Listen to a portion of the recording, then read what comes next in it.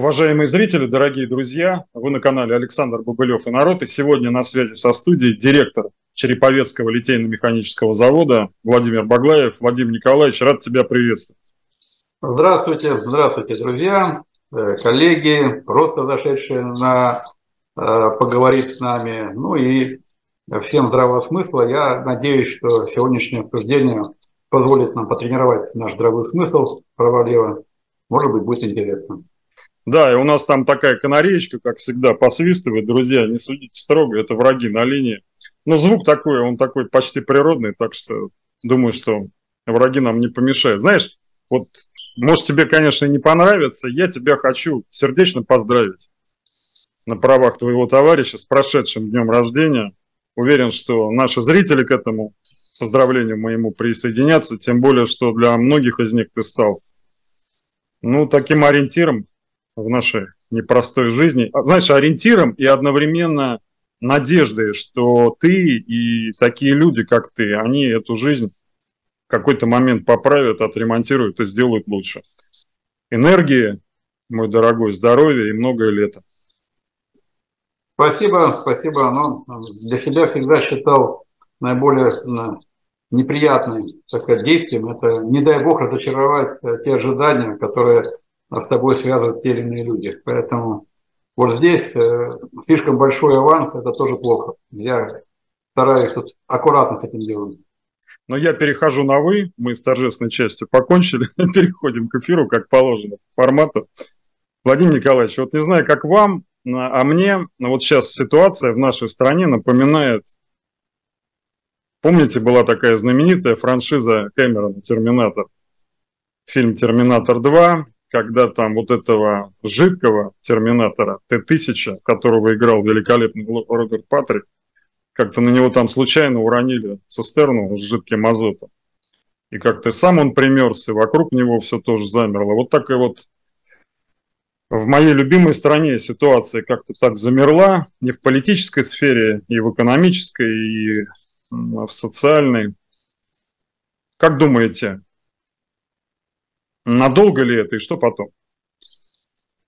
Ну, два момента. Вспоминая, так сказать, классику, да, значит, все очень просто. Сказки, обман. Солнечный остров крылся в туман. Нет райской птицы среди вранья. Кто-то ошибся, ты или я. Значит, э, по большому счету, есть заморозка, нет заморозки. Давайте так. Э, ситуация, которая сейчас так или иначе мы наблюдаем, долго продолжаться не может. Она так или иначе куда-то развернется. Э, чем бы не закончилась э, специальная военная операция и все, что вокруг ее, она развернет движение нашей стране в ту или иную сторону и очень быстро, как только появится что-то похожее на ту или иную хорошую или плохую определенность. Поэтому вопрос в том, э, что как долго может продолжаться ситуация неопределенности, я думаю, не очень долго в данной ситуации, потому что она в принципе э, не может долго продолжаться из-за конечного ресурса э, противоборствующих сторон. Я так скажу аккуратно. Вот. Поэтому вопрос, ведь я думаю, все ощущают, что мы на пороге грандиозного движения туда или сюда, я так скажу аккуратно. А вот уже куда нас э, двиганет, надеемся, что на этот раз будет не так, как обычно. А какие у нас варианты? Ну, надежды юноши питают, хочу вам сказать. Вот недавно Борис Юрьевич Горлицкий, хороший социолог, даром, что иностранный агент, о чем мы, к сожалению, вот обязаны упомянуть, делился результатами социологии качественной какой-то фокус-группе опрашивал людей, и кто-то из его респондентов сказал, что ну да, тяжело, там, коммуналка, ну стандартный набор жалоб наших соотечественников. Да, сводим концы с концами, да, детишек тянем, но главное, говорит, мирное небо над головой, войны нет. И никто из присутствующих а, в помещении людей в этой фокус-группе, никто ему не возразил. То есть вот для большинства наших соотечественников, вот это я не говорю ни к сожалению, ни к счастью, просто констатирую факт. Что-то вовне а, их семьи, их повседневной жизни, их работы, ну вот это все как-то остается за пределами их внимания. Это, я так полагаю, что тоже ненадолго. Но когда вот этот вот а, предсказанный вами, а, вот это вот предсказанное вами оживление начнется, мы сможем, мы не нужны, Владимир Николаевич, как эксперты нашим зрителям, потому что если курс будет выбран верный, то тогда он будет приводить к восстановлению потенциала нашей страны, приумножению ее ресурсов, финансовых, людских, там, творческих. Э, а если курс будет неверный, то и потенциал будет продолжать расходоваться, и деньги будем куда-то непонятно куда девать, и люди у нас будут как-то уменьшаться, а не прибывать. И вот по этому поводу, по поводу, каким должен быть верный курс, вот вам есть что сказать, Владимир Николаевич. Я вот замолкаю. Ну, смотрите, э, у меня сложилось впечатление, я могу согласиться с многими, ну так, условно говоря, теми, кто подкритиковывает, э, чуть больше, чуть меньше происходящее, что многие процессы развития в стране нашей за последние 30 лет, если это можно назвать развитием, оно подменялось э, лозунгами и симулированием развития с той или иной целью. Ну, по, по, по поводу того, было ли симулирование развития, не было симулирования развития, было ли настоящее развитие, мы двигались вперед или нет, ну, давайте так. Я не сторонник выдумывать какие-то непонятные цифры, э, что все плохо или все хорошо. Я сторонник э, пользоваться хотя бы той статистикой, которая реально э, дает наш Росстат и наши официальные органы. Давайте будем придерживаться этой информации. То, что сказал Борис Кагарлицкий, при всем уважении, ну, есть какая-то фокус-группа, она показала одну информацию субъективную, другая фокус-группа, если это покажет э, какой-нибудь другой человек, она покажет другую информацию. А вот официальная статистика нашего государства, наверное, то, э, что попытаться с тем новым видом допущения, в общем-то, можно использовать. И по этой статистике, э, ну, сами увидим, что уровень жизни населения с 2012 года у нас не только не вырос, он, он даже снизился. 2012 года. То есть мы, за 10 лет мы, наверное, одна из немногих стран в мире, э, которая, в общем-то, не показала, э, даже официально не показала рост уровня. Да, мы показали, э, у нас произошло некоторое снижение бедности в стране по нашей статистике, но при этом уровень жизни населения у нас не вырос. Правда, с точки зрения математика, у меня тоже в этой ситуации возникают вопросы. Если у нас уровень жизни населения, объем наших нищих и бедных уменьшился э, в процентном отношении и в абсолютном в том числе. Значит, э, он за счет чего мог уменьшиться? При том, что у нас не вырос э, уровень жизни населения. Значит, у нас стали беднее богатые, верно? Они должны были поделиться с бедными для того, чтобы те вышли из зоны бедности. А если верить нашей статистике, то э, темпы роста богатства наших наиболее богатых семей не только не замедлились, они, они ставят рекорды, даже особенно во время специальной военной операции. И тогда у меня вот э, простая формула в голове не складывается. Как при э, том, что уровень жизни населения у нас продолжает падать, а количество богатых и их богатство растет, каким образом при этом у нас снижается процент э, бедного населения. Тут есть нестыковки, но тем не менее, э, не будем весь момент сами себе накручивать. Важно другое. Официальная статистика с 2012 года а, уровень жизни населения у нас не вырос, даже немножко упал. Первое. Второе. Наши, наш темп развития ВВП наш растет даже если верить э, тем процентам, которые нам пишут, 1, там, 2%, 2% выросли, потом 3 упали, 2% выросли, 3 упали, ну, плюс-минус за последние сколько там лет, э, ну, примерно на том же уровне. При этом э, наши же власти констатируют тот факт, что средние э, темпы роста ВВП по миру составляют сегодня 3-3,5% ежегодно. То есть мир растет средними темпами 3 Вот за последние, значит, получается 10 лет мир в среднем вырос как минимум на 35-40%. За последние 10 лет. Мы остались на том же уровне. То есть это, а, как бы там ни было, а, тоже некоторые показатели. То есть э, вряд ли бы э, сегодня была бы ситуация, какая она есть, если бы страна за 10 лет развивалась с темпами 3,5% э, в год. Хотя бы среднемировые, хотя бы. Я не говорю там быть лидером, как э, некоторые страны.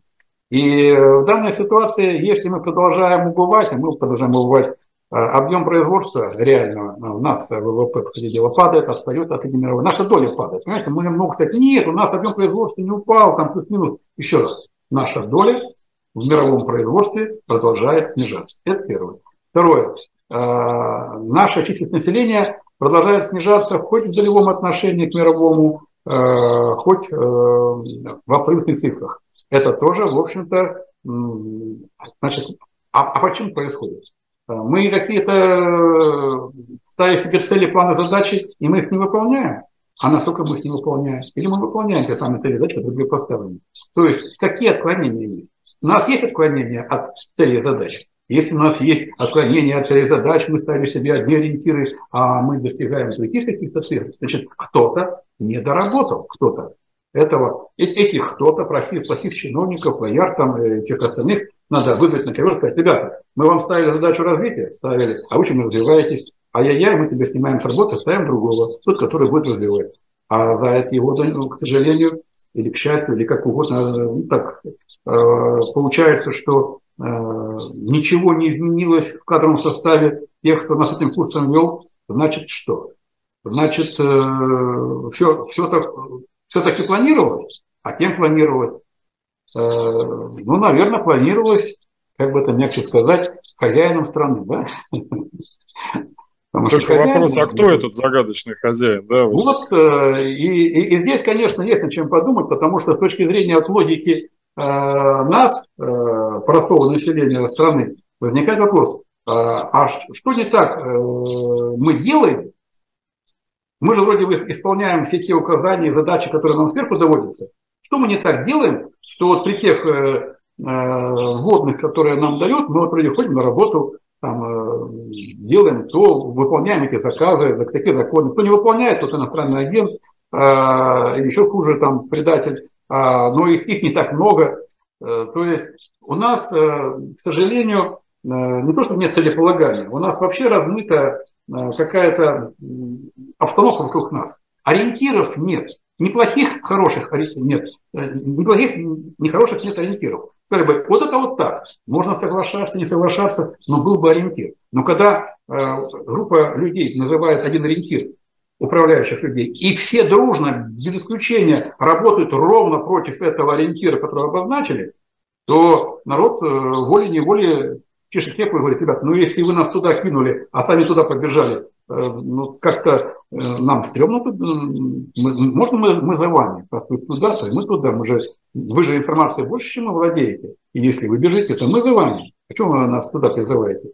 Поэтому, к сожалению, мы наблюдаем, что так или иначе за последние годы страна продолжает, в общем-то, падать в ресурсе, в динамике, вот. И вопрос, э, по чьей злой воле, или по объективным, или по субъективным причинам, тут, наверное, э, я думаю, есть смысл все-таки выходить на другие немножко этажи сознания, не искать э, вину в отдельном этом человеке, хотя, конечно, желание у простого обывателя всегда есть желание найти, кто виноват, и дать ему по полной программе.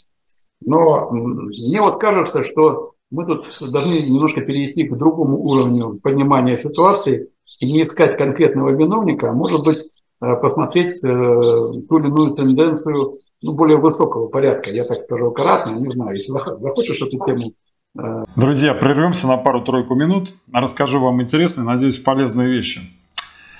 Ох, прав был Клим Жуков насчет влияния общего кризиса капитализма на качество нынешней кинопродукции – не подумайте, что ворчу, но сейчас не то, что 20 лет назад.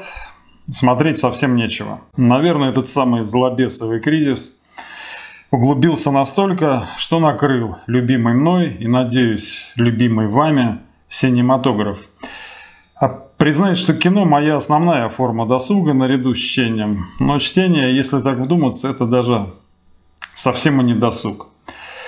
Вот и приходится смотреть то, что было снято 20 лет назад, и на майских каникулах не без удовольствия пересмотрел «Американо», австралийский научно-фантастический боевик братьев Вачовски «Матрица». Если помните, фильм начинается телефонным разговором Тринити и Сайфера на фоне бегущих по экрану зеленых цифр. И заканчивается на таком же фоне, но уже с появившейся надписью «Системная ошибка». Нео разговаривает по телефону, и он обещает, что покажет людям, запертым в матрице, что на самом деле они живут в мире, где нет правил и границ. В мире, в котором возможно все. Бегущие и падающие, как дождь, потоки зеленых цифр. Мне кажется, это очень удачная метафора к тому, что происходит в современном мире, где тот, кто чувствует эти потоки данных и кто работает с ними, он всегда как бы на шаг впереди этой матрицы, ну или если угодно системы. Сейчас айтишники, будто Нео, выбирая красную капсулу, увеличивают свои возможности и буквально создают будущее. Например, дата-сайентисты. Они разрабатывают и обучают искусственный интеллект и могут много чего. Например, прогнозируют вероятность возврата кредита клиентам банка, разрабатывают рекомендательные системы и даже диагностируют болезни. Такие специалисты нужны сейчас везде. Спрос на них а, за последние три года увеличился на 433%, а зарплаты достигли в среднем 200 тысяч, это далеко не потолок. Чтобы освоить новую профессию, работать удаленно, рекомендую вам пройти курс Data Scientist от нуля до про от онлайн школы Skill Factory. Если помните ваши студенческие времена, то успешность обучения всегда сильно зависела от преподавателя. И здесь с этим все в порядке, потому что программа разработана с участием профессора из МГУ специально для новичков. И вас всему обучат с нуля, в том числе и математике, без которой дата-сайентисту, конечно, не обойтись. Что очень и очень важно. На курсе много практики. Вас будут ждать реальные задачи из бизнеса. Они сформируют ваше собственное портфолио, которое даст вам преимущество при трудоустройстве. Почему рекомендую Skill Factory? Перечисляю по порядку. Для вас создадут все условия, чтобы обучение было комфортным. Удобная платформа и гибкий график, благодаря чему вы сможете обучаться в своем темпе спокойно, совмещая учебу и работу. На протяжении всего курса вас будут поддерживать опытные менторы, которые понимают, как не просто менять род занятий. Они будут отвечать на все ваши вопросы и помогут сохранить мотивацию. А также при школе есть центр карьеры, который поможет вам найти работу. Расскажет, как составить резюме и подготовит к собеседованиям. Так что, друзья, переходите по ссылке в описании или по QR-коду на экране. Оставляйте заявку, чтобы успеть записаться на курс. А по промокоду Александр Бобылев вы получите скидку в 45% и курс английского для IT-специалистов в подарок. Ломайте матрицу рутины и повседневности. Получайте новую востребованную профессию, друзья, и в добрый путь. Поглубже. Да, да, да. Мы, да, я так, честно говоря, и намечал, Владимир Николаевич, вы меня, как всегда, просчитали. И, ну, невозможно же, понимаете, с вами беседовать и не отклониться от намеченного плана. Можно такой простецкий вопрос? Вот я в последнее время, прежде чем мы перейдем к э, таким конструктивным вещам, в последнее время слышу много криков с разных сторон политического нашего холма. С одной стороны кричат, давайте все национализируем, значит, вот там не справляются. С другой стороны кричат, нет, давайте все приватизируем. Я не знаю, я не человек, как говорится, политически неискушенный. Мне интуитивно, вот подчеркиваю слово интуитивно, и те крики не нравятся, и, и те. Что бы вы по этому поводу сказали? Это отвлечение на негодный объект. Одной силой и другой силой. Ну, я уже на эту тему выраж... Э, говорил. А вопрос, э, с какой целью мы будем приватизировать или национализировать? Приватизация якобы э, с целью того, чтобы поднять эффективность неэффективных предприятий, условно говоря. Да? Ну, давайте так. С, моей, с одной стороны, а с другой стороны, доход бюджета обеспечить. У нас же не хватает доходной части. Э, здесь есть э, два э, аргумента, которые необходимость приватизации разбивают просто вот полностью в прах. То есть первое, приватизация Советского Союза предприятий была? Была. 80 после этого страна потеряла, потеряла промышленность как таковая из страны ушла, ушла. Приватизация подняла эффективность машиностроения, авиастроения, электроники, не подняла. Значит, э, таким образом, приватизация производств с высокой добавленной стоимостью э, привела к уничтожению более-менее развитых наших предприятий. Это первый момент. А приватизация сырьевых отраслей привела к чему? К тому, что мы ставим поразительные рекорды каждый год по выводу капитала и ценностей страны, ничего не оставляя для развития своей страны. То есть напомню, что с 1994 года мы вывезли за пределы страны э, более 3 триллионов долларов США продукции, э, чем ту, которую везли обратно. А по сегодняшнему покупательскому паритету доллара мы утащили из страны через сырьевых э, хозяев нашего бизнеса, так скажем, порядка 16 триллионов долларов. Вот с чего приватизация. Значит, сразу мысль, ага, значит, приватизация плохо, приватизировать не будем. Тем более, что суммы, которые выводятся из страны, точно не, не покрывают те копейки, которые страна может получить за приватизацию этих предприятий. Тогда давайте национализируем, раз приватизировать не будем. Дальше возникает вопрос, а что значит вот, э, э национализация предприятий? Э, напомню, мы живем с вами в буржуазном обществе, где, в общем, частный это производство является, в общем основной. Ну, так вот, по доле основная у нас, первый момент. Дальше возникает, э, не может возникать вопрос. То есть э, наше общество буржуазное, капиталистическое, и по большому счету власть, которая, которая у нас есть, она защищает действующий капиталистический строй, верно? И Э, основные элит, элиты в нашей стране, так или иначе, поддерживают капиталистический строй, делают все возможное, чтобы те, кто пришел к власти, защищали действующий капиталистический строй. Правильно? Дальше возникает простой вопрос. А как же власть, которая поставлена к руководству э, капиталистами, э, будет принимать решения о э, национализации частных собственных средств производства? пользу кого? пользу народа? Стоп, извините, у нас капитализм. Нет у нас, у нас, конечно, написано в Конституции, что народ является как бы э, где-то кем-то там власть владеет. На самом власти, вроде как, да. Поэтому, по большому счету, э, за словом национализация может скрываться два интересных направления движения мысли. Первая мысль. Кто-то решил э, сменить строй в стране.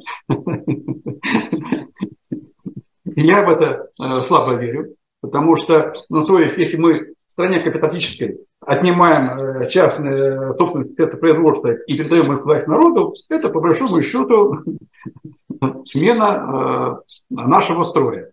Не уверен, что об этом шла речь на разных уровнях.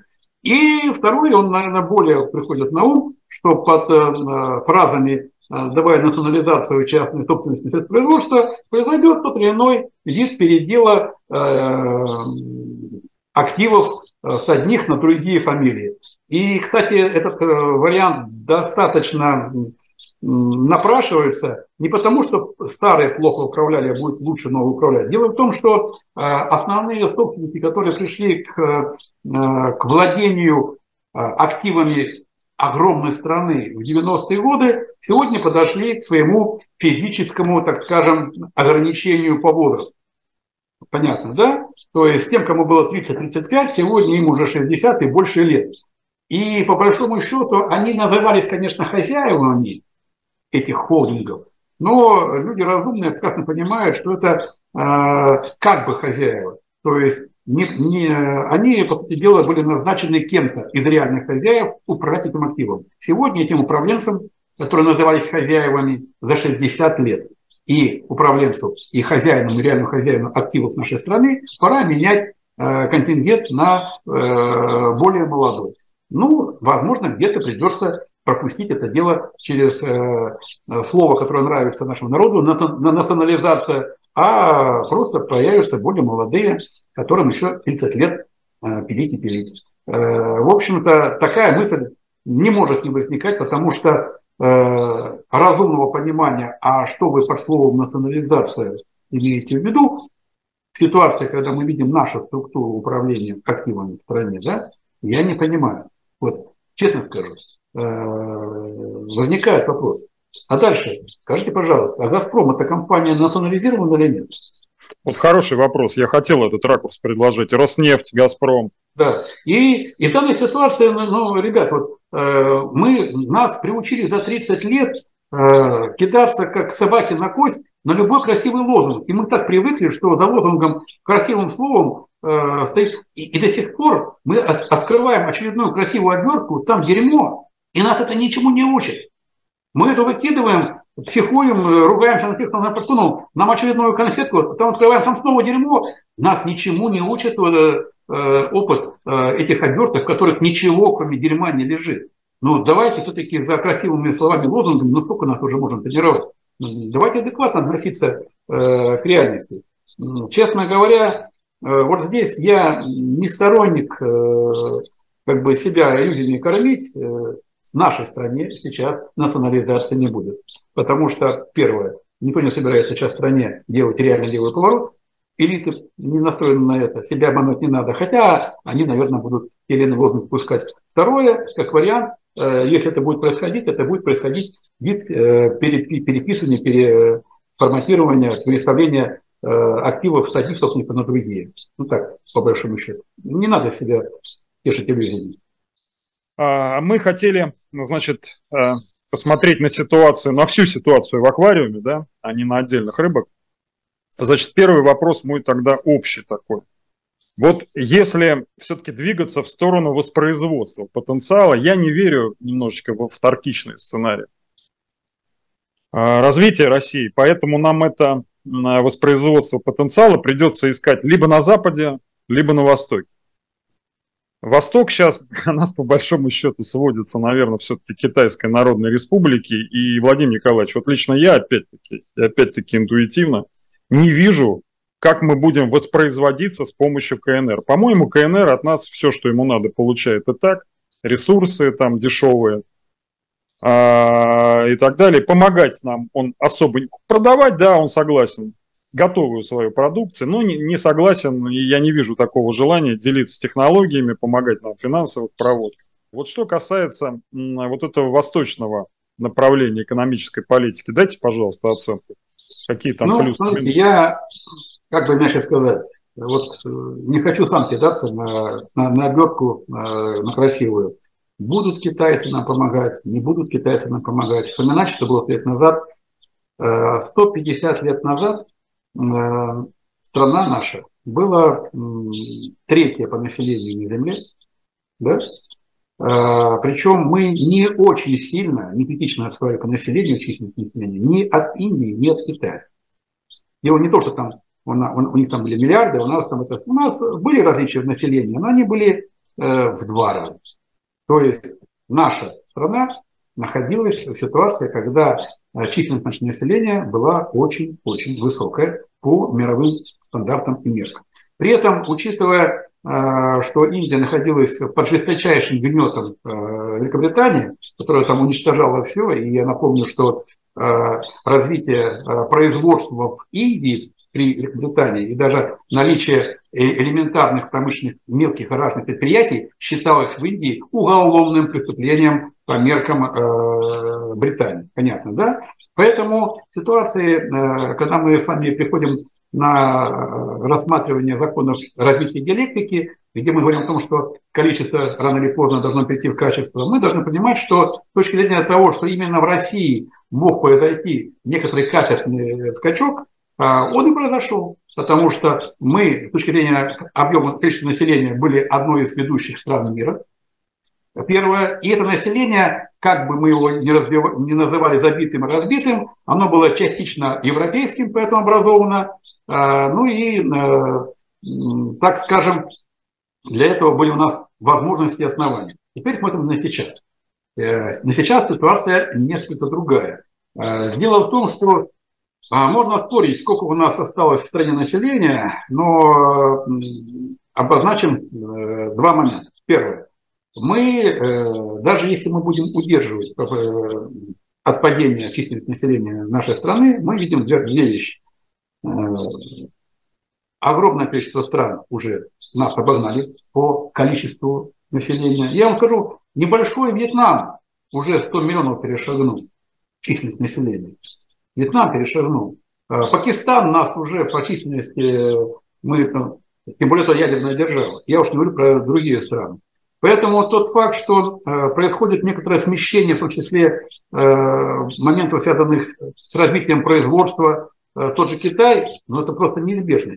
При этом, давайте опять-таки, наша страна не только падает численности, причем достаточно быстро падает, оно еще происходит старение нашего населения. Старение населения со всеми вытекающими, наша цивилизация на нашей территории, она быстро стареет со всеми вытекающими для этого последствиями, те, кто понимает, как э, идут э, циклы развития стран и цивилизаций, понимают, что стареющая цивилизация, если ничего не происходит, она уходит с арены, так или иначе. Поэтому для того, чтобы э, каким-то образом, как вы говорите, обеспечить воспроизводство чего?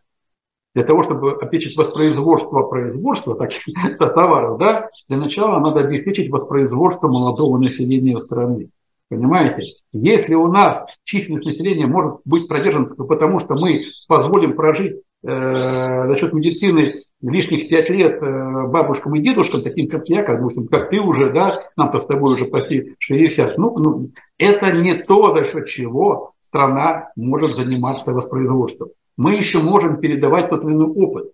Страны живут и развиваются за счет молодых, 20-30 лет. Этот контингент э, должен воспроизводиться. Если этого не происходит, то все остальное это на самом деле, э, так скажем, в пользу бедных разговоров. Поэтому в данной ситуации э, те же самые китайцы, они прекрасно видят э, положение. Я э, ума не приложу, а с чего бы это Китай опять-таки, будет рассматривать нашу территорию как территорию, у которой э, есть э, э, это союзник, с которым надо договариваться на равных. Стареющая цивилизация, с населением, занимающая территорию э, огромную, имея всего полтора... У нас за Уралом, даже по официальной статистике, мы не дотягиваем до 40 миллионов населения за всем Уралом, за всем. Из них там э, проживает по основным городам, там, по большому счету. То есть и мы э, чего ждем от Китая? Опять-таки, а почему Китай? А что надо от Китая от нас? Только наши сырьевые ресурсы. И больше ничего, по большому счету. Тогда скажите мне, пожалуйста, чем циничный Китай, а он циничный прагматичный Китай, будет отличаться от циничной прагматичной э, Тэтчер, которая объясняла, сколько надо людей э, для того, чтобы обеспечить перекачку сырьевых ресурсов для тех стран, которые их будут э, как бы осваивать и перерабатывать. Какого перепугу нам Китай даст лишних 10-20 миллионов пожить на, на перекачку этих ресурсов? Как, как, с каких это э, таких кредителей? Что такого мы Китаю можем сделать? Кстати, для сравнения, московская агломерация по численности, если верить Собянину, превышает количество людей, которые проживают за Уралом нашей страны. И что, Китай должен покормить Э, нашу московскую агломерацию, а, а с каких это таких э, прагматичных э, для себя мыслей. Ну, это мы вот себя для чего кормим иллюзиями? Вот просто, честно скажу. Поэтому, э, еще раз, если в стране нет воспроизводства молодого населения, молодого, даже не, не, не сам по себе численность, то эта страна, по большому счету, Любая, не важно, что это Россия, любая. Европа э, в том числе к этому можно отнести. Она идет на закат. Хотите на рассвет, принимайте решение. И разговоры о том, что так и так, надо давать денег больше за рождение, ничего подобного. Ребят, не, не надо путать, э, что повышение Теп, уровня... Теплое с мягким, да, это да, абсолютно это, это уже доказано, что никакой реальной связи в этом плане этого нет.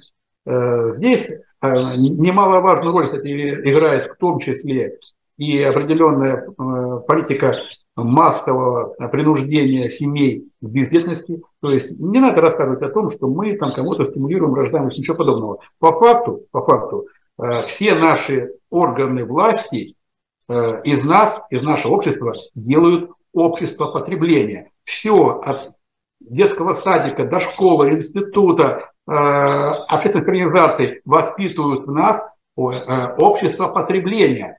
А если общество потребления нас воспитывает, то для того, чтобы увеличивать свое потребление, я должен снижать количество едоков этого самого потребления, в том числе снижая количество детей в своей семье, потому что как только я начинаю иметь э, детей, я снижаю это потребление. Я помню прекрасно, когда я попал первый раз в Пекин в 2005 году, и э, первое вот вхожу в номер, там телевизор показывает рекламу. Вот первое, что мне запомнилось.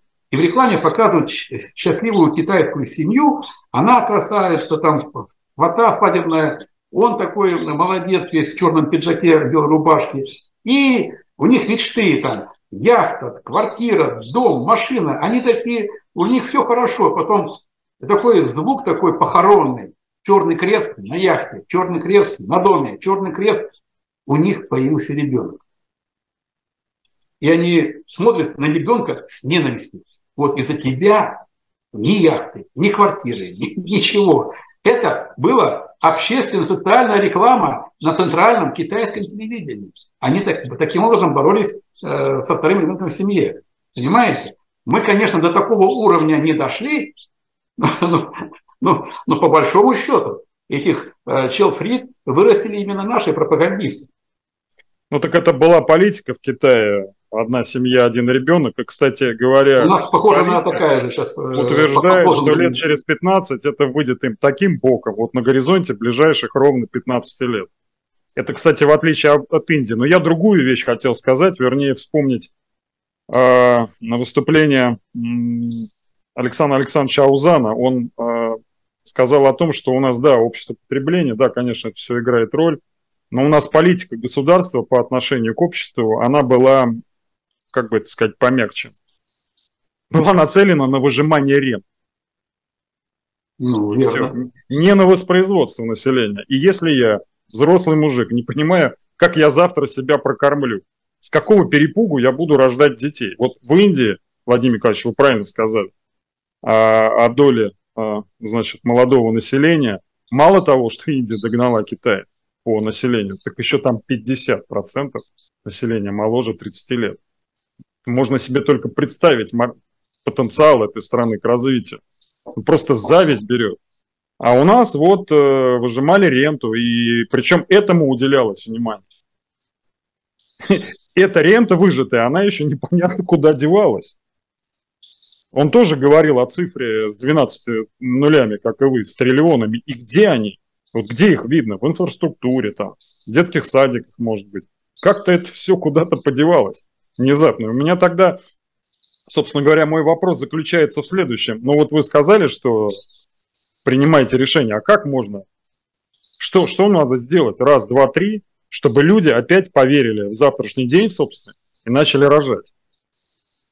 Вот я понимаю, что разговор дурацкий, такой может быть преждевременный, немного наивный, но это, мы, же, мы же говорим о будущем, да, то есть мы сейчас вот как два антикризисных менеджера. Мы фиксируем точку, где находимся, мы понимаем, анализируем причины, как мы там оказались. Следующее, мы должны говорить о том, а что делать. Ну вот, Владимир Николаевич, вам ну, слово. Ну, смотрите, сначала про Индию. Ну, что можно сказать про Индию? Э, похоже, Индия опять на себя э, принимает то, чем она была когда-то давно. Это, по сути дела, э, центр нашей цивилизации, да, за счет того, что там было много населения, были когда-то там технологии, молодежь. Вот, видимо, так или иначе они возвращаются, в том числе своей, э, как правильно сказать, идеологии или мировоззрению, так скажем аккуратно.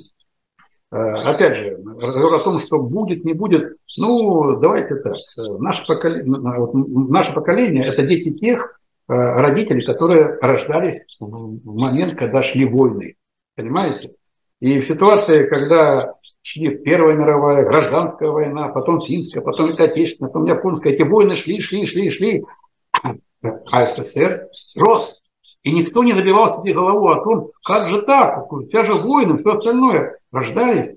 И поговорите с нашими родителями, матерями, дедушками, как они, э, что они э, переживали за то, что там неизвестно, как, э, кто какой вуз поступит. Нет. Почему? Потому что было другое мировоззрение, и э, были другие...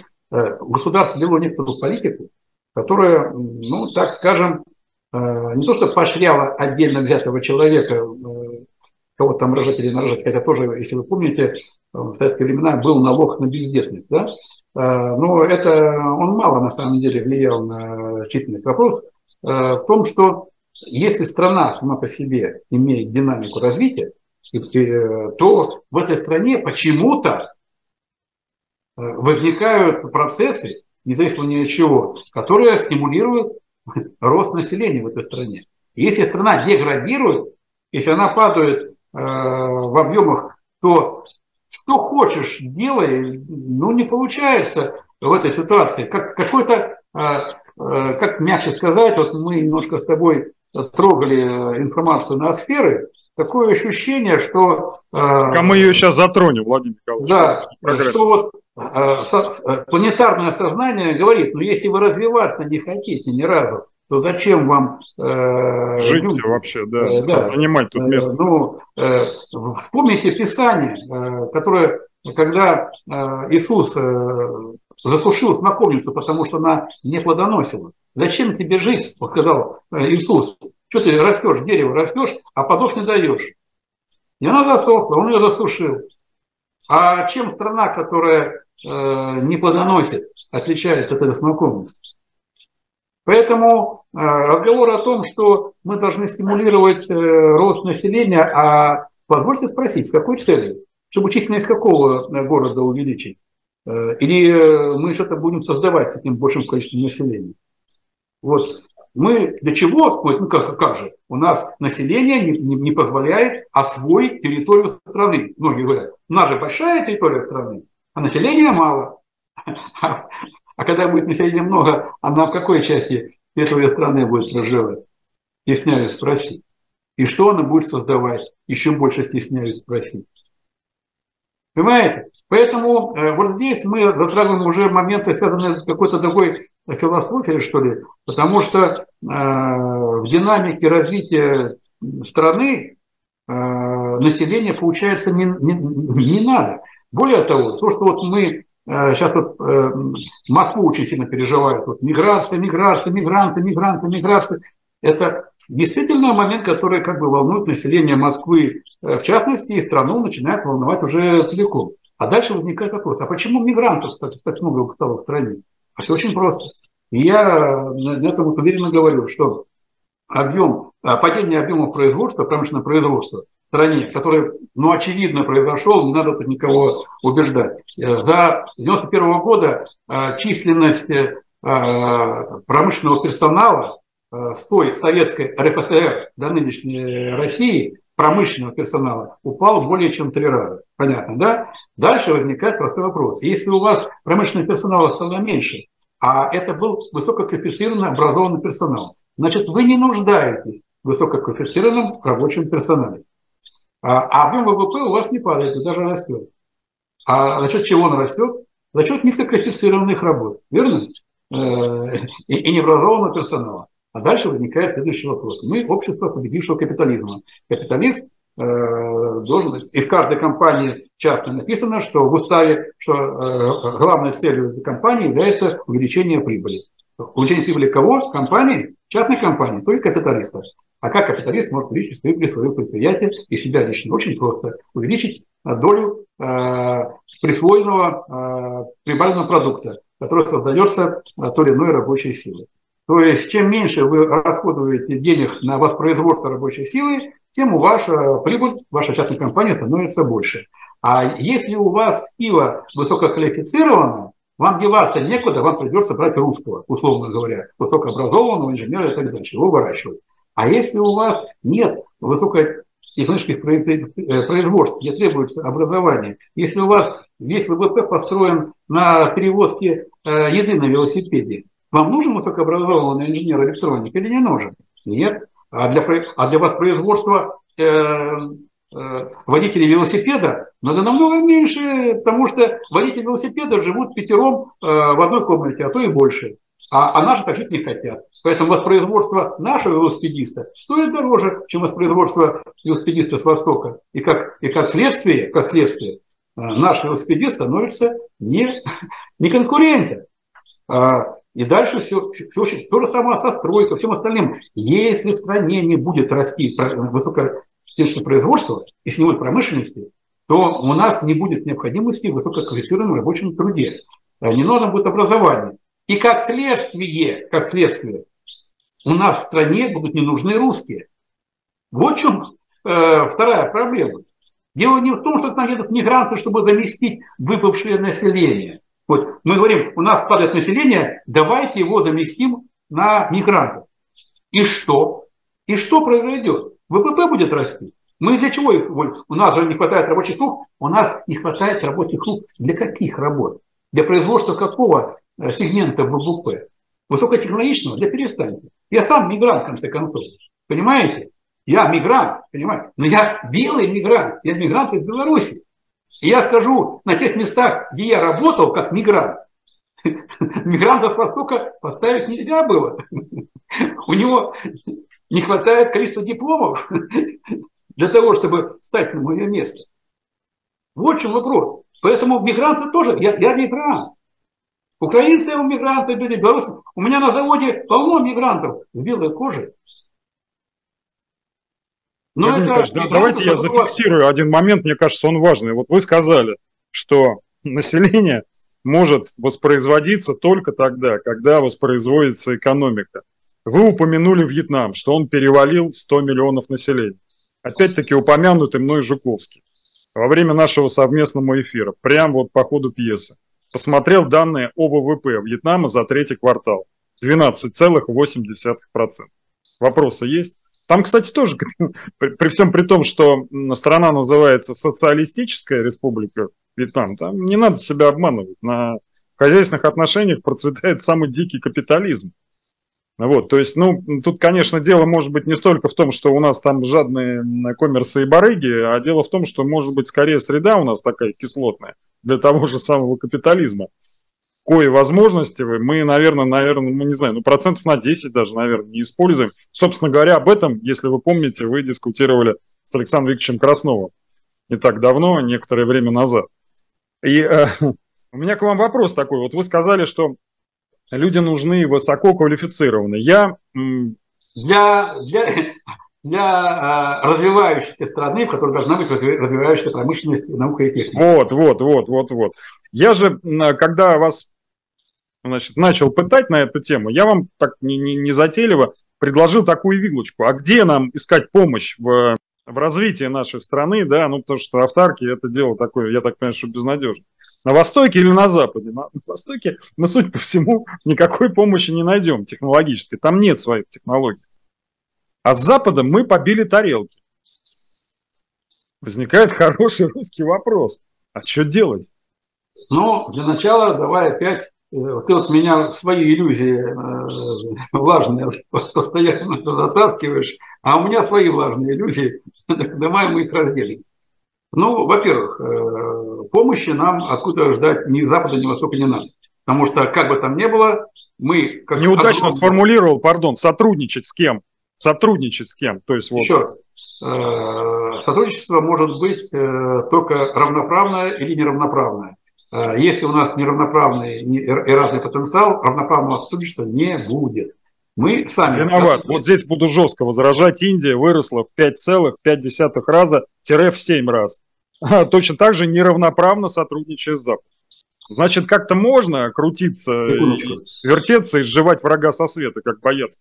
Вот, вот тут я немножко не соглашусь. С некоторого периода э, новейшей истории Индии там прослеживаются очень очевидные мероприятия, а, национально ориентированные, я так скажу, направленные на снижение степени зависимости и канализма своей территории. Да, они играли на противоречиях э, своих э, партнеров, так скажем так, по разграблению этой страны. Но сегодня это страна, которая говорит, ребята, все хорош, ну вас всех нафиг, отдавайте мне бриллиант, отдавайте мне триллионы. Это с, а таким я... внутренним рынком, конечно, так можно сказать, да. Владимир ну, Николаевич. Что? Ну, у, нас-то, они... у нас-то население в 10 раз меньше, чем у них. Мы а почему так? Сказать. Опять-таки, а кто снизил то самое наше население? Кто принимал такие решения? Еще раз, опять же, если мы про Индию, как бы там ни было, как бы там ни было, да, там есть серьезные проблемы на, на производстве с персоналом. Народу много, но, но, но не получается из индусов сделать нормального, не то что инженера, рабочего, понимаете, есть проблемы. Ну, это проблема, я понимаю, какого-то определенного менталитета и времени. Но опять же, для того, чтобы Индия сказала, отдайте мне алмаз, должно было пройти некоторое время с тех пор, как э, какой-нибудь Ганди э, сказал, что мы теперь независимая страна. Э, это прошло время. А мы еще не сказали даже этого. Вот последняя наша э, конституция, которую мы принимали э, всем миром, нас, все пеньки обрисовали, что теперь мы... За что голосовало наше население на пеньках новую конституцию?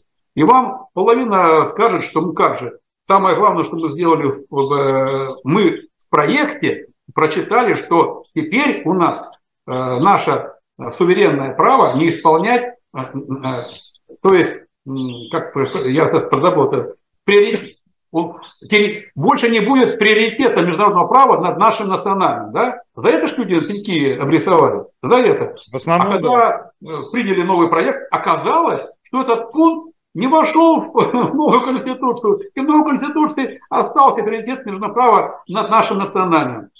И кстати, а много людей об этом знает, что не произошло этого очень важного изменения пункта. Даже я, я не думаю, знал, что... Владимир Николаевич. Вот. Более того, когда этот момент мы на одном из каналов... Не то, что я, э, извиняюсь, не то, что я такой исключительный, все-таки политблогер, но я не знал. Ну, то есть, маловероятно, что наши слушатели об этом сказать. Я вам скажу больше. Когда на одном из каналов мы э, с депутатом Федоровым на эту тему как мы начали общаться, и его спрашивают, а как же так получилось? Ведь народ же шел голосовать, потому чтобы э, убрать приоритет международного права на наше национальное. Что он сказал? Потому что, а кто принимал эти поправки? Да, поправки были внесены. А потом эти поправки пошли по регионам. И в регионах отказались наши губернаторы поддержать это направление. И, мы, и нам наверху в Москве было нечего делать, как согласиться с мнением регионов. И мы отказались. Ребят, Э, у каждого свои грибы, понимаете, свои розовые эти самые там э, мечты. Э, ну, конечно, у нас любой губернатор может не исполнять решения Кремля. Там, они все такие борзые, блин, вообще никто не ставит. Ну, ну, ну, для кого это все рассказывается? То есть вопрос стоит, а кто хозяин нашей страны? Кто не выпускает вожжи с нас? кто не дает делать ни одного шага на пути суверенитета страны. Вот мы говорим про суверенитет. Ну, первое, вот, ну не можешь ты делать суверенную страну, если у тебя приоритет международного права. Все, забудьте про суверенитет. Разговоры там на форумах, мы суверенитет, финансово, экономический, все остальное. Мы в ВТО, ВТО, нет суверенитета. Мы ВОЗ, ВОЗ, нет суверенитета. Мы в ВМФ и Э, банки расчетов международных, нет суверенитета. Ребят, а вы откуда ждете э, изменения ситуации? Мы же работаем и живем, и умираем, и деградируем, и вымираем по правилам, которые мы приняли 30 лет назад. Если мы 30 лет назад приняли правила, по которым страна деградирует, вымирает, э, правила не поменялись? Нет. А с чего вы считаете, что на старых правилах страна может развиваться Э, процветать э, промышленность наука. А Есть... я могу сказать, с чего мы так можем считать? Можно клиниться? Вот, э, да, внешняя среда враждебна, но мы живем, понятно, что в материальном мире, это и в природных сообществах так, для отдельных особей или для, для стай каких волков, допустим. Да, внешний мир враждебен, но а, а, если мы правильно строим политику внутри, Киссинджер взял и договорился с Дэн Сяопином. Китай за последние 30 лет в результате вырос в 14 раз. Индия, у которой поводов для геополитических обид, ну раз так цать больше, чем у России. Это и упомянутое вами колониальное прошлое, и у нее очень непростые отношения с соседями. С Пакистаном там были вообще на грани ядерной войны. Пакистан, напомню, если кто не знает, это ядерная держава. Китай, там проблемы Тибета, сказать, ее же никто не снимал. И э, тем не менее, вот эти две страны, этого так называемого условного Востока или Азии, как сейчас принято говорить, они как-то кратно выше нас выросли. Значит, все-таки там внутри проводилась разумная промышленная политика, разумная внутренняя политика, о которой говорит, допустим, партия дела. Александр, Мы с вами всегда на эту тему дискутируем. Я просто этот акцент хочу. Съемка я очередной мухомор, скажу, скажу, нам нужна разумная ноосферная политика. О, так. А, что я имею в виду? Значит, еще раз, вернемся к законам диалектики, развития общества. Если Китай получил больше миллиарда населения, то волей-неволей этот объем населения должен был привести к некоторому качественному скачку. С Киссинджером, без Киссинджера ноосфера бы приняла миллиардное мышление огромного количества населения для того, что этот кусок мыслящей массы с огромным объемом сознания должен как-то быть вписан планетарную логику развития. Понятно, да? И мы сегодня с тобой говорим, еще этого не произошло, еще Китай вот-вот догонит э, Америку, возможно, догонит, может быть. А мы говорим уже, не, ребят, скоро будет Индия. Почему? Потому что Китай уже стал на путь деградации. Уже путь. Есть еще один момент, который я бы обозначил. А, мы с тобой зацепили момент, связанный с наукой и техникой, который вот Э, путь деградации науки в России и, как следствие, деградация промышленности приводит к умиранию населения. Ну так, по большому счету. Тебя обманывать не надо. Ну, вот если правильно провести логическую цепочку. А, так вот, вся а, ситуация в том, почему, в общем-то, у Китая сейчас ситуация, мягко скажем, не, не очень хорошая. Дело в том, что Америка, может быть, чувствуя это, может, нет, она по-прежнему является лидером в научно-техническом прогрессе, науке, технике, образовании. Да, у них э, школы э, крайне дебильные, но что касается развития вот, э, передовых вариантов там, наук техники, они это дело держат. Да, у них там школы, на которые надо враняться, ну, 2-3% от общего количества школ. Но эти школы там идеально сделаны. И там рождаются те открытия научные в том числе, которые Э, позволяют, позволяют э, быть на вершине этого самого потолка знаний, который и дает право развиваться в стране. И... Не только развиваться, но и размножаться. Можно здесь... А, а, это, а это как следствие. Если страна развивается, то она будет размножаться. И не случайно сейчас Америка перекрывает кислород по новым технологиям Китая. Потому что сказать, все, Китай, тебе достаточно. А рядом Индия. Молодое, горячее население, растущая цивилизация с потенциалом невероятным. И нас сферы воспринимают. Ух ты, полтора миллиарда. Молодые, активные, кровь бурлит. А эти стареющие уже. Эти свое отыграли. Может, они еще это не знают. Мы еще на них э, ориентируемся, как же нам Китай поможет. Может быть, это дедушка нам поможет, нашему э, еще более. Владимир Николаевич, можно я вот буквально вот э, прям вот чеканно э, сформулирую то, что вы сказали, более коротко. Значит, размножение происходит не только половым путем. Вроде бы как у нас же лучше, чем в Индии, да, у нас полгода холодно и темно, казалось бы. Вперед, размножаемся. Вот, но нет, так не происходит. Почему? Потому что если э, страна становится, ну, этот термин такой немножечко дискредитированный, сияющим градом на холме, туда устремляются люди. Я вот в своих там покатушках рассказывал, что мне мой дом, в котором я живу, строили ребята с Украины, бывшие афганцы. Они хотели сюда переехать.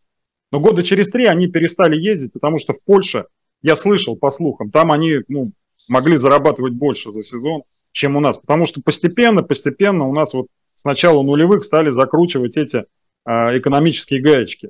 Если бы у нас э, развивалась промышленность, э, разв... деньги бы давали на образование. Ну, не так вот, не на распил, а действительно гранты в МГУ. Может быть, какой-то молодой специалист, допустим, из Мексики, не поехал бы в Америку, а поехал бы к нам. Какой-то хороший, талантливый парень. Здесь, дай бог здоровья, пусть он тут перемешивается. Эти его дети, они все равно через два поколения будут русскими. Еще раз, мы же своими руками уничтожаем промышленность, которая требует высококвалифицированных э, кадров рабочих и инженеров. Нет, так у нас свои же тоже будут. Я же не предлагаю всех мексиканцами заместить. Нет, это просто как деталь такая. Не-не-не, не надо. Я не патриот Мексики. Владимир Николаевич. Не, у нас и свои ребята, у нас своих тут Ломоносова хватает. Ну, давайте вот на соседнюю Белоруссию посмотрим. У меня э, пример же хороший. В свое время, вот вы живой пример, назад, да. мне привезти э, инженера из Беларуси проблем не составляло никаких. Ехали. Сейчас нет. Почему? В этой стране сохранилось промышленное производство. Оно развивается. Оно требует высококвалифицированных рабочих кадров и инженеров. Институты работают. Это, туда нельзя привести мигранта и поставить на конвейер на БелАЗ или на МТЗ. Туда нельзя привести интеграл, которые иммигранты поставить на производство микросхемы на интеграл. Нельзя этого сделать. Там надо дать работу э, своим. Почему? Потому что не свой, не образован, не сможет сделать. Вот в чем вопрос. Поэтому э, э, именно э, деградация в плане научном, технологическом приведет э, рано или поздно к падению показателей воспроизводства, как вы говорите, и как следствие тому или иному виду вымирания или замещения.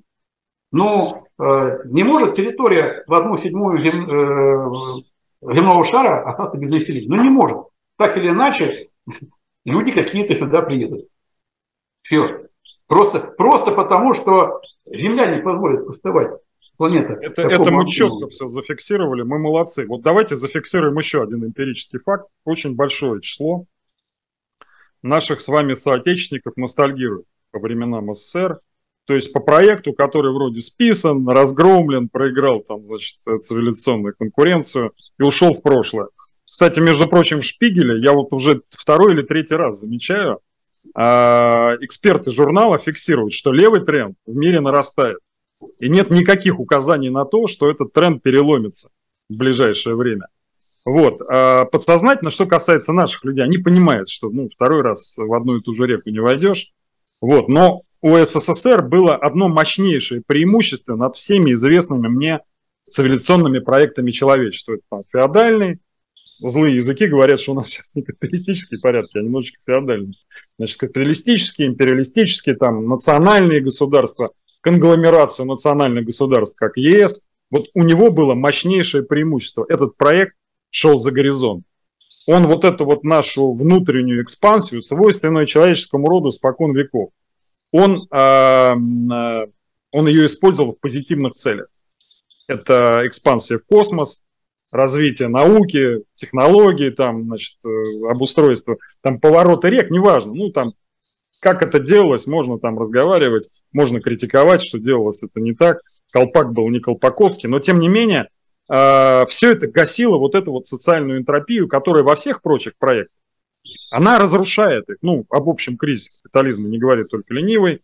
Сейчас еще неолиберальный кризис э, модели, кризис христианского проекта. В общем, все плохо на самом деле.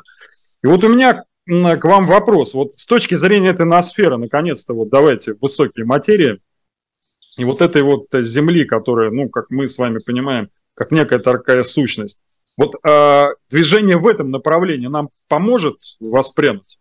Нам, россиянам, я имею в виду, за, сейчас пока за человечество не говорю в сторонке, чуть позже. Ну, э, поставьте себя на место ноосферы, Александр. Давай пофантазируем после очередного мухомора. И вот я там, грубо говоря, планетарная ноосфера, в том плане мыслящая, чувствую, что болею местами, надо бы где-то подправить что-то у себя ну, в своих, так сказать, моментах. У меня на одной седьмой территории проживает э, полтора процента населения, а из этих полтора процента населения проживает в, в, пару-тройки агломераций. То есть у меня вообще э, кожи нету на сферной, на одной седьмой части э, планеты. Лишай такой своеобразный, понимаю, да. Да, понимаете? Это надо срочно, э, это, надо кожу наращивать, думает ноосфера. И вы говорите, а что мы можем сделать? Ну, для начала надо перестать хотя бы тех оставшихся миллионов, которые в стране остались, стягивать в один город или в два. Хотя бы для начала это перестать делать.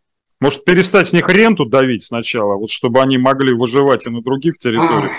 А, смотрите, вот так вот. на самом деле здесь масса вопросов. Еще раз. Э, вся проблема в том, что действительно население в стране не нужно. А, а если население в стране не нужно, если нам по заветам Тэтчер надо 15 или 40 миллионов населения, которые нужны для перекачки э, сырья, да, то смы... очень неэкономно размазывать ненужное, ненужное население по всей территории. А вот э, в одной точке их содержать, в одной камере, уже экономичнее получается. Дальше возникает еще раз. Если, если в стране появятся определенные векторы развития, люди будут нужны для этого развития. Если страна не развивается, люди не нужны. То есть э, у меня есть четкое понимание, что э, для того, чтобы э, страна развернула, развернула свой вектор, э, начала развиваться, в том числе в плане численности, необходимо возвращать ее на рельсы ну, лидеров в научно-техническом прогрессе. Если мы посмотрим статистику, сколько остальные страны, даже не такие, как мы, продвинутые в науке раньше, тратят денег на научные исследования, на разработки, на, неокры различных видов, мы, мы понимаем, что мы проигрываем в том числе, в принципе, э, в не только образовании, но даже в попытках участвовать э, в тех или иных научных разработках. Вот в чем проблема. Поэтому, к сожалению, мы 30 лет воспитывали общество потребления. И для того, чтобы ситуацию развернуть, необходимо общество перестать воспитывать э, как общество потребления, а начать делать другое общество. На это уйдет не месяц и не два. Напомню, что в известном для нас э, с вами примере, для того, чтобы, из общества потребления э, вырастить другое общество, народность, да, пришлось это общество по пустыне водить 40 лет для того, чтобы перевоспитать определенное количество миллионов людей из общества потребления в общество развития со всеми вытекающими. Понимаете? Э, давайте Я знаете, почему улыбаюсь? Первые шаги к этому перевоспитанию уже идут. Э, Климжуков в своем недавнем ролике обсуждал, что в Госдуме, в, еди, в Единой России выработали какой-то документ, что можно, а что нельзя показывать в социальных сетях. Вот машины, там загородные поездки нельзя вот э, как бы иные признаки процветания, Владимир. Так что вот лед тронулся, будем считать. Но я это, конечно, иронизирую, скажу для зрителей. Извините, я вас перебил. То есть, э, например, между именами, если вчера можно было кого-то ограбить и сказать, видишь, я у тебя кошелек вытащил, как тебе, а? А что ты мне сделаешь или не сделаешь? То теперь ты ограбил, но не хвалишься, да? Да, теперь не хвалишься. Так, но за кошелек к тебе никто не придет. Сказать, а, а что ты это сделал? Ты же, ты же что? Ты же кто? Ты же граждан. Понимаете, вот это еще раз один из вариантов э, того, что мы называем симулированием. То есть общество потребления, э, которое мы выросли, э, симулированием о том, что мы теперь за какую-то идею, за объединение, за народность, ничего подобного. Ведь даже если кто-то не выставляет ничего в социальных сетях, все равно кто-то тебя сфотографирует в какой-нибудь Дубае. Понимаешь? Все равно это, ну, ну, ну, ну не скроешь этих вещей. И все равно машины дорогие по дорогам наши гоняют, и никуда не уйдет рублевка с домами миллиардными. Это же все видно. Потом, да, социальные сети не выставили, но э, а, а обсудить на Первом канале «Золотой унитаз» судьи Югов, пожалуйста. Ну и что, что-то не в социальных сетях? Не, ну, кричащие э, факты расслоения общества, они, они слишком широко. Так так не бывает. Э, а расслоение тоже мешает нам воспроизводиться? Ну, смотрите, я так скажу. Э, безусловно, оно тоже мешает. Почему? Потому что это так или иначе комплекс определенно в людях развивают, и с этим сложно, да? То есть, э, вот э, если кто-то с Китаем плотно работал, с компаниями там, серьезно, они сейчас заходят, захватывают наш рынок, уничтожают остатки нашей промышленности, э, братья-китайцы, своим производством. Но когда с ними общаешься, даже очень большого рода руководители, оказывается, что вот у них есть определенные потолки в заработной плате Китая. И вот у них есть оклад, грубо говоря, и независимо от результатов работы, выше, чем какой-то объем, они чуть не могут. И я для себя с удивлением узнал, потому что как бы собственники китайские некоторые стоят по миллиарду долларов, а вот высшего менеджмент, который работает на этих заводах, э, имеет потолки в 3 тысячи долларов, в 5 тысяч долларов. И я сравниваю нашим менеджментом, который в день может, может получать 200 миллионов рублей. И, и, вроде бы, и вроде бы в Китае тоже нюансы есть, связанные с капитализмом. Но там как-то очень какой-то красный капитализм. Вот капитализм, но какой-то красный, понимаете? И, и миллиардеры есть. Ну и особо не пофорсишь своим положением. А как они Более с коррупцией борются, Владимир Николаевич? На заглядение просто, да? Давайте тоже об вот, Поэтому давайте вот э, откровенно скажем, э, мы сейчас э, приходим немножко на такого субъективного момента обсуждения, что вот там сделали то, там-то сделали то. Надо, наверное, прослеживать эту ситуацию в более длительном историческом пространстве с, с теми иными тенденциями. А вот тенденции, тенденции, это, на мой взгляд, главная тенденция по любой территории, это население. Это население. Если население прибывает и молодеет, это цивилизация, которая в каком-то периоде, в ближайшем, так или иначе, э, имеет шанс на, на, на развитие и процветание.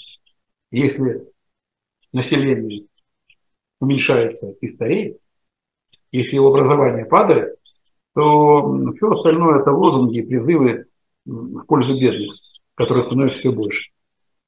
Тогда из того, что вы сказали, я могу сделать вполне себе однозначный вывод, если позволите. Вот смотрите, вы там третий раз уже Тэтчер упомянули. Я хочу сказать, что мы когда говорили с вами об общем кризисе капитализма, э, я сказал, что неолиберальная модель, в общем-то, тоже списана. Ну, то есть Фридман, Хайек, ярчайшие представители этой неолиберальной модели, Тэтчер, Рейган ныне поругаемо на Западе. Они же говорили, рынок все порешает, там, Тэтчер увольняла шахтеров, там и так далее. Но вот общественная мысль Запада сейчас эту модель зачеркнула красным карандашиком.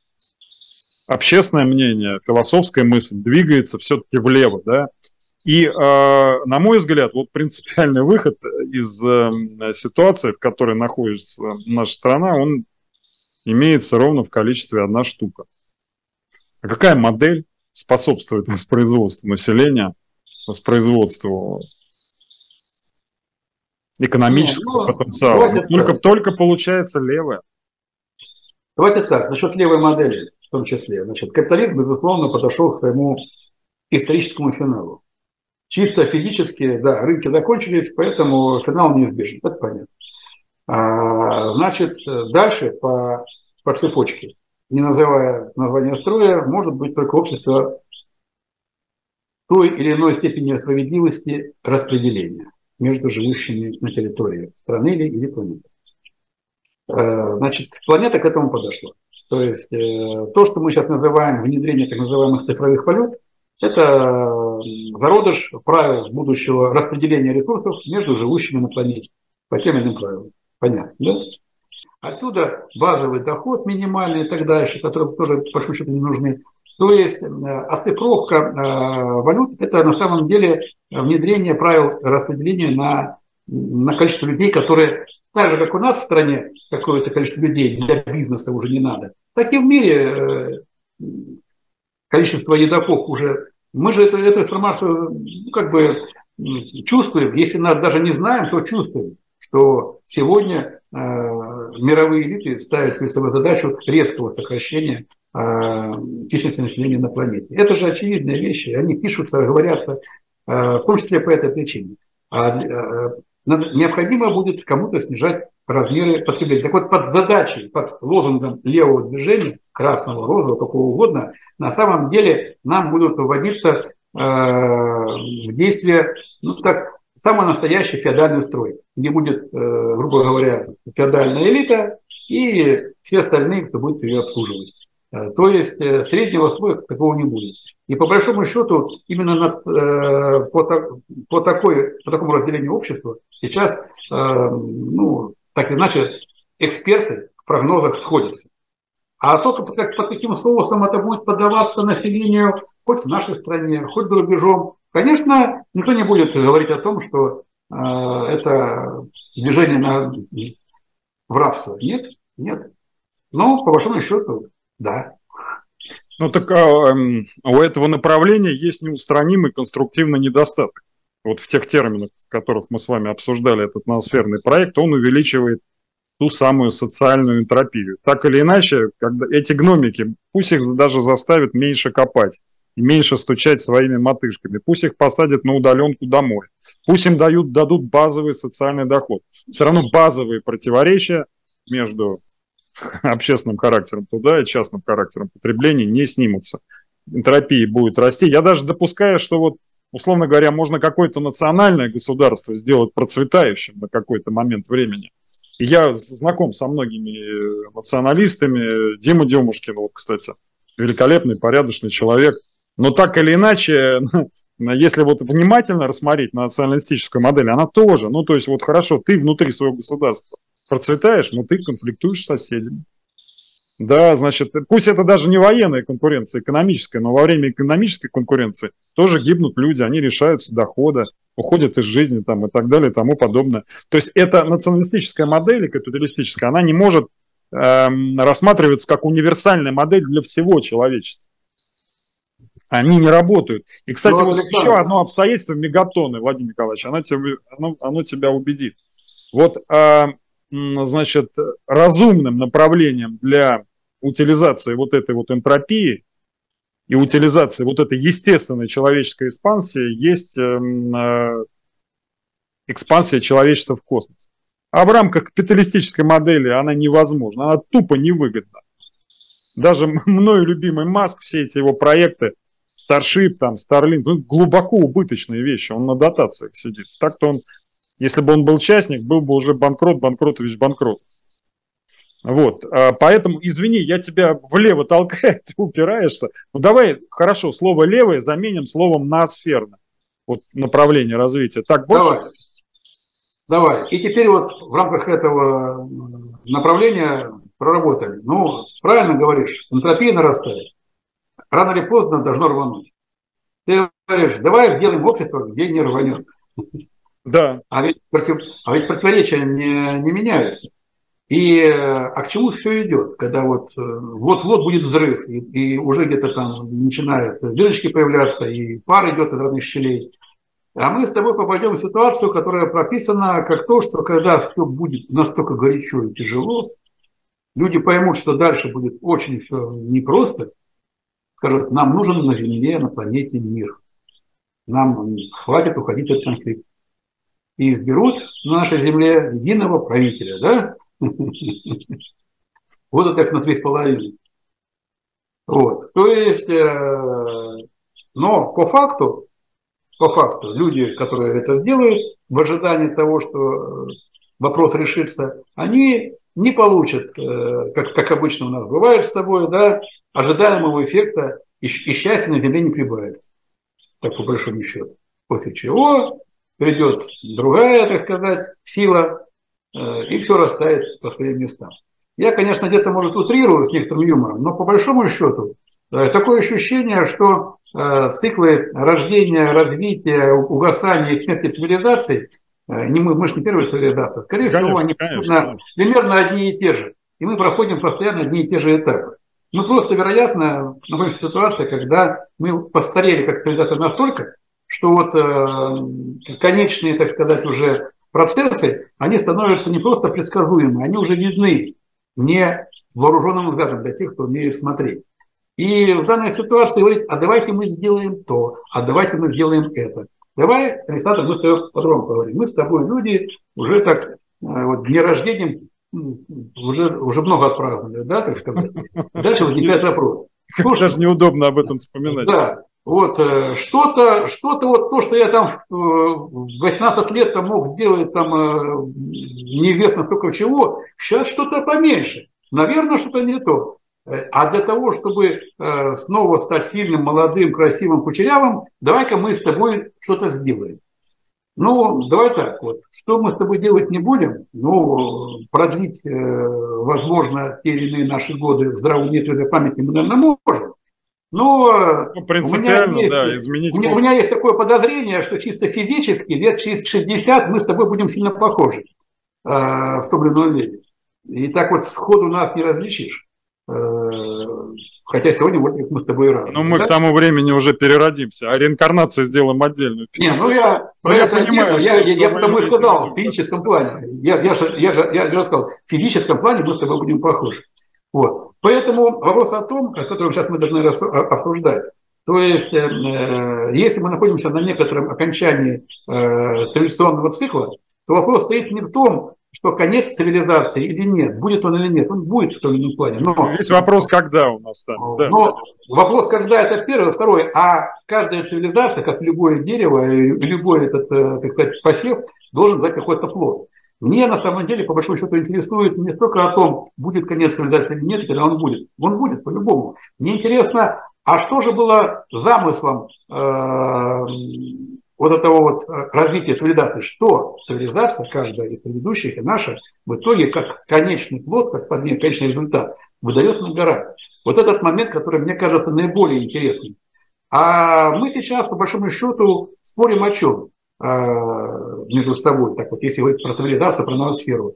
А на какой вид э, здорового образа жизни ноосфера должна перейти, чтобы эта цивилизация протянула дольше? А для чего? Это с одной стороны, и с другой стороны, знаешь, я вот тут как каждой весной занимаюсь тем, что свои цветочки, которые, конечно, у меня в безобразном состоянии, пытаюсь привести в порядок. И я вижу, как мои традисканцы дают побеги, перелазят в соседние горшки и там укореняются. Я поэтому говорю о космической экспансии. Может быть, плодом будет то, что люди выйдут за пределы своей экумены, вот этой земли. Может быть, таков замысел. А если мы это не потянем, ну тогда да, ноосфера скажет, ну не справились. Очевидно. Александр, мы Какая мы там пятая или... Одну, одну тему, значит, куда идти, в какой, и где экспансию делать, тема, на самом деле, на мой взгляд, очень интересная. Я бы космосом не ограничивался, если уж так. Она сама по себе очень большая, мы тут местами уже на каналах дотрагивали. А кто сказал, что у нас экспансия возможна только в космосе? Наша, конечно, наша, конечно. Ну, я просто говорю о понятном измерении, понимаешь? Что, то есть, если мы уже начинаем говорить про тонкие материи, а в каком, измер... в каком э, э, количестве измерений э, находится то, что мы называем с тобой тонкими материями, так скажем. Это отдельная тема, на ней можно поразмыслить. Мы с тобой немножко не о том И начали. мы и договаривали, кстати. Да, то есть сегодня мы говорили о том, что вот есть некоторые очевидные вопросы по стране, и как бы к этому вот подойти, и некоторые надежды на то, что э, здоровый образ жизни на нашей территории э, наш, нашей страны позволит, ну, по крайней мере, нашим людям, нашим, нашим так сказать, ну, более-менее достойно э, идти по жизни. Как там в нашей песне советской пелось? Я второй такой не знаю, где-то счастлив жизни человек, да, где человек шагает как хозяин, необъятно родины своей. Сегодня мы такое сказать не можем. Мы можем как угодно издеваться над э, песнями советских времен, но люди не только их пели, они в них верили и, и так себя чувствуют, по большому счету. А сейчас? Даже, даже самый богатый миллиардер в стране такое не может про себя пропеть. И деньги тут э, не спасают. Это внутреннее ощущение. Абсолютно.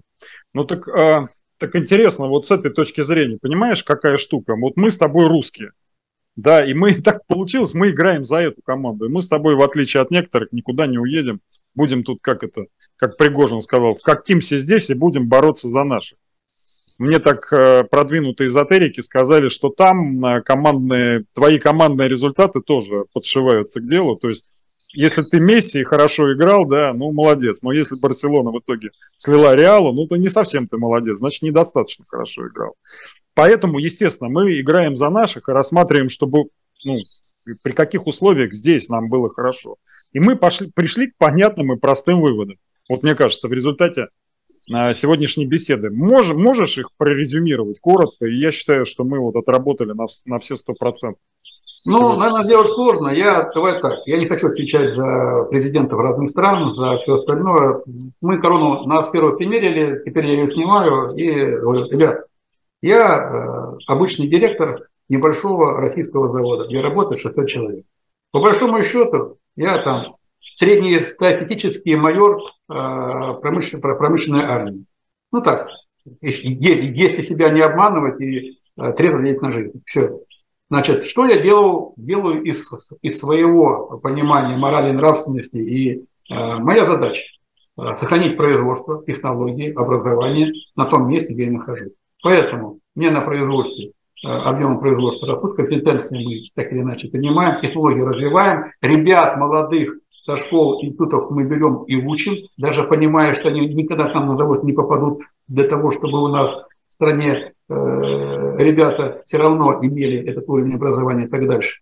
Э, это, это все, что я могу сделать. Если мой батальон эту территорию худо-бедно при мне 20 лет продержал, если мы за 20 лет в объемах производства 170 раз выросли, если мы за это время э, э, численность предприятий в два раза увеличили, если мы за 20 лет площадь промышленного производственных площадей нашего э, завода с тех советских времен в два раза увеличили, если мы за это время количество оборудования, которое у нас было на заводе, смогли увеличить примерно в 9 раз, если у нас производительность труда поднялась за эти 20 лет в 70 раз, если я через свой завод пропустил молодых специалистов и детей всех остальных примерно 3000 человек, я как майор на этом направлении сделал то, что мог. Если кто-то где-то там в армии генеральской, промышленной, все профукал, я могу по этому поводу переживать. Но на своем участке я сделал все, что мог. И если это мне зачтется где-то там, как ты говоришь, ну, я буду рад. Но, с другой стороны, не мне решать. И в данной ситуации я переживаю за другое. Э, по большому счету я переживаю, что все, что я делаю, оно никак не затрагивает самый главный сегмент нашего общества – молодежь. Мы с тобой говорили о том, что молодежь формирует будущее страны. И если молодежь есть, и она активна, ее много, то страна будет развиваться. А вот с этим, к сожалению, мне в одиночку никак не справишься. Я не могу формировать понятие. Вот ты говоришь, вроде и ночи темные, и холодно, и только занимайся. Так занимаются, будь здоров.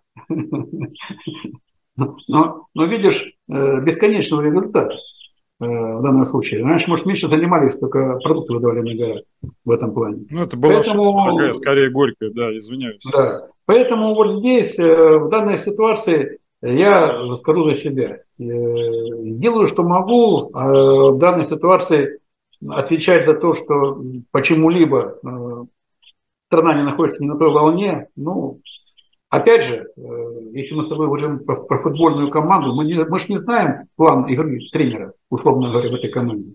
И дальше у меня иногда возникает вопрос. А то, что я бегаю там с мячом по полю, условно говоря, э, или пытаюсь отобрать, я вообще говоря не мешаю плану тренера. Может, у него другой план на игру.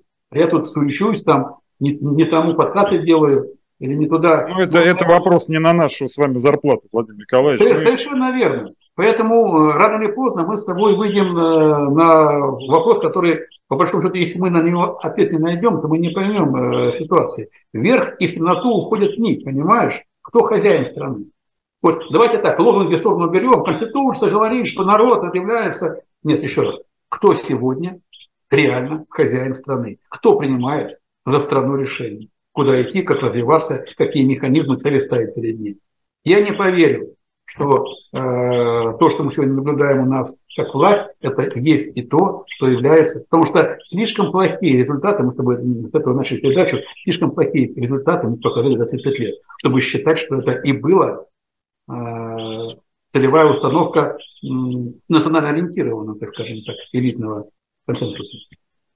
Я, кстати, не думаю, что это результат какой-то злонамеренности, злонамеренности, скорее результат некомпетентности. Вот мне ну почему и... злонамеренности? Ну давай, давай, давай так. Когда берешь на станок, ставишь на него болванку и начинаешь с, с этой болванки стачивать лишний нужный материал, то э, стружка, наверное, сильно переживает, что ее снимают. Но ее снимают не злонамеренно, ее снимают для того, чтобы по факту получить годное изделие. Поэтому, может, мы в данной ситуации в чьем-то процессе, к сожалению, для нас обыкновенная стружка. Ну, тут э, вы практически философский вопрос затронули. Вот смотрите, еще одно важное обстоятельство, и завершаем беседу, потому что я вас сильно отвлекаю от управления родным предприятием. Я-то сегодня ради беседы на работу не поехал, просто не успел бы вернуться.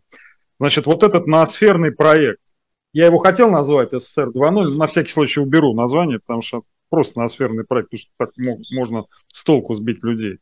Вот мне кажется, что его ни в коем случае нельзя устанавливать силой. Значит, эмпатия, милосердие а эти понятия должны быть включены в его дизайн. Тогда ты не сможешь вот так вот ренту выжимать, как это происходило до сих пор. И значит, и мне кажется, что дисциплинарное общество страха, оно должно остаться в прошлом, потому что такие люди, как мы с вами, в этом кровно заинтересованы. А, страхом же управлять удобнее, а такие, как мы с вами, мутим воду. По логике дисциплинарного общества, ну, расстрелять нахрен, чтобы, как говорится, не, не это самое, не говорили лишнего. Вот вы много интересовались теневыми управляющими структурами человечества. Как думаете, э, вот их сопротивление на пути к выживанию можно преодолеть? Или вот, опять-таки, мы на нисходящем тренде? У вас надежда какая-то есть? Значит, как, как я воспринимаю то, что происходит? Значит, еще раз, э, я Могу ошибаться, это мое субъективное мнение, но мне кажется, мне кажется, что мы идем по определенному этапу развития цивилизации, и э, ноосфера эти вещи отслеживает, так, так, так или иначе, контролирует этот момент. То, что нам нравится или не нравится, это как в организме где-то там стареющем. Там зубы начинают болеть, э, рвут там где-то печень, там где-то почки, там где-то сердце. Э, что-то происходит, как-то организм с этим всем пытается бороться для того, чтобы продержаться. Вот. Дальше возникает вопрос. То есть, э, по большому счету, э, у здорового у организма два, две основных причины смерти. Это онкология и э, болезнь системы кровообращения. Если говорить про нашу цивилизацию, то здесь, в общем-то, несложно провести, скажем так, аналогии Э, с этими двумя основными проблемами. То есть болезни крови, болезни э, кровеносной системы – это болезни э, финансовой системы планеты, так условно говоря, да? То есть, а мне казалось, именно финансовый сектор у нас на онкологию похож, нет? А в онкологию я бы затащил вот этот э, избыток э, офисного планктона, который потребляет очень много, но ничего не производит, кроме углекислого газа или углеродного следа. А, конечно, по этому поводу офисный платон будет сильно недоволен, но я скажу так, э, как бы нам это не нравилось, не нам решать, что с этим делать и каким образом это решаться. Мы можем обижаться на тех людей, которые написали на скрижалях, что цветочек достаточно, и сами будете дать инструментах. Все это может быть. Но вся проблема в другом. Ведь э, когда в советские времена, еще при Сталине было понятно, что будет сокращаться необходимость в рабочих часах, и будет освобождаться огромное количество времени у нашего населения для того, чтобы заниматься саморазвитием, то мы говорили о чем? Что будет у нас меньше рабочего времени, будут много выходных дней, и люди должны заниматься самообразованием, повышением культурного образа и так дальше. И вот мы пришли к ситуации, когда действительно, действительно э, рабочее время у нас снижается, времени свободно становится очень много, и чем люди забивают это время? Кто-то из них повышает свой культурный уровень, или что-то, или вы, вы смотрите на, на, на массовое, э, э, э не знаю, как назвать это, какую-то болезненную совершенно э, игру в сверхпотребление какие-то, э, и, а дальше себя поставьте на место на сферу. Единственное, что хотелось бы концовочку какую-нибудь такую более-менее, что там это, что как-то все-таки вырулим, да, то есть боремся. Но вот, этот, ну, вот эту давай, вот идеологию давай, мне так. все мои знакомые коммерсы говорят, мне похрен, я у себя на рабочем месте вкалываю с утра до вечера, а как там, блин, что там справа-слева меня обошли, это не мое собачье дело. Ну, это мужественная такая, брутальная такая позиция, но она в итоге, ну, понимаешь, а... стоицизм – это психология уходящих элит. Александр, э, значит, смотри, еще раз, возвращаясь э, к Новому Завету.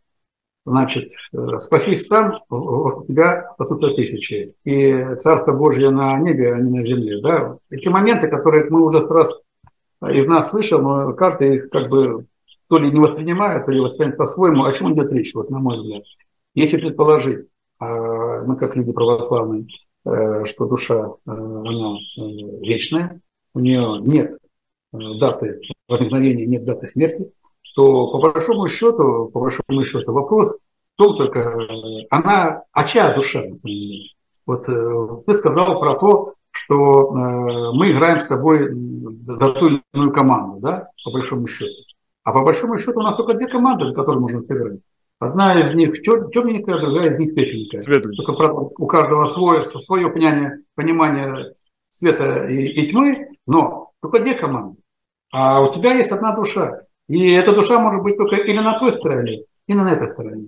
Я несколько раз уже говорил, повторю на этой стороне. То есть мы говорим о том, что мы точно знаем, в этом уверены, что э, определенные, так скажем, силы, которые в том числе сегодня э, выстраивают э, ряд разумных э, с точки зрения логики мероприятий, достигают их в том числе с помощью достаточно неоднозначных ритуалов, э, в основе которых лежат кровь, смерть, страх, боль. Это мы знаем. Дальше у меня возникает простой вопрос, или такое заключение. Можно ли достигать добрых целей и добрых намерений, э, подталкивая эту идею на вибрациях смерти, боли, страха. Наверное, нет. Э, но люди на это идут, за те или иные плюшки. Почему? Ну, значит, они выбрали сторону для своей души, для себя, для бессмертной души. Вот они перешли на ту сторону. Дальше возникает вопрос, а ты так как? Я нет, я не хочу так. Мне, я не хочу, чтобы за счет чьей-то боли, чьей-то смерти, чьей-то крови у меня там счастливый случай дополнительный в жизни представился. Я, видно, пережил. Вот моя позиция такая. Ну, не добавить, не убавить. И каждый, друзья, выбирает сам, за какую команду играть. Я думаю, что наша сегодняшняя беседа в этом смысле поможет сориентироваться, правильно понимать то, что нас окружает, то, что нам главное предстоит, не, не испытывать по этому поводу никаких иллюзий, и там ура, там всяких шапкозакидательских настроений. То, что в самом лучшем случае нам предстоит долго, упорно и много работать, чтобы восстановить все виды потенциалов нашей любимой страны. А вы, друзья, себя берегите, оставайтесь здоровыми. Если вам понравилась эта беседа, поставьте ей обязательно лайк, так ее увидит большее количество людей. Не забывайте подписываться на канал. А я Сердечно благодарю Владимира Николаевича Баглаева за столь содержательную беседу. И мы с вами прощаемся. До новых встреч.